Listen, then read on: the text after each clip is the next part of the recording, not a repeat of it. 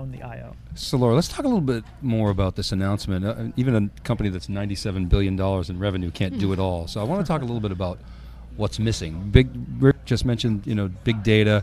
How about data reduction? That's something that I, I, I, didn't hear, you know, strongly in this announcement. Although they do a lot, obviously, with things like thin provisioning or right. what they call HDP, Hitachi Dynamic Provisioning. Do you think that's uh, there's an opportunity there? There's upside there for these guys? Yeah, absolutely, and I'm, I'm sure they have that in their strategy or in their plans. But storage optimization technologies at large are really kind of uh, a cr- critical component to storage architecture and purchasing decisions for customers, uh, because customers are trying to do more with less, right? And trying to scale their storage while keeping their, their administration in check. Um, their budgets aren't scaling with the same level of capacity growth. So optimization has to be, play a key role.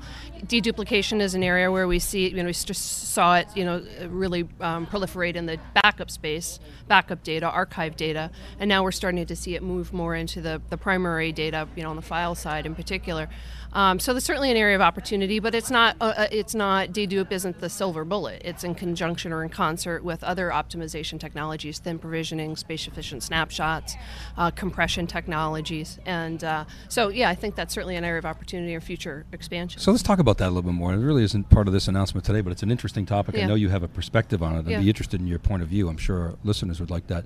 Um, so what does Hitachi do there? Do they partner with like a FalconStor? who I Mm. saw Yeah. in, in here. That's they're really showing a VTL, but that's a possibility. Do they develop their own? Do they?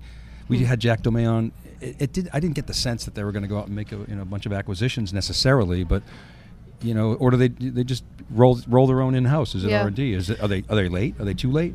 Uh, I don't think they're too late. Um, they're certainly later than others, but um, you know, if you look at statistics, our, our research shows that an average of between you know 30 and 34 percent of of all the total disk storage capacity on the floor is allocated for some kind of backup and recovery function.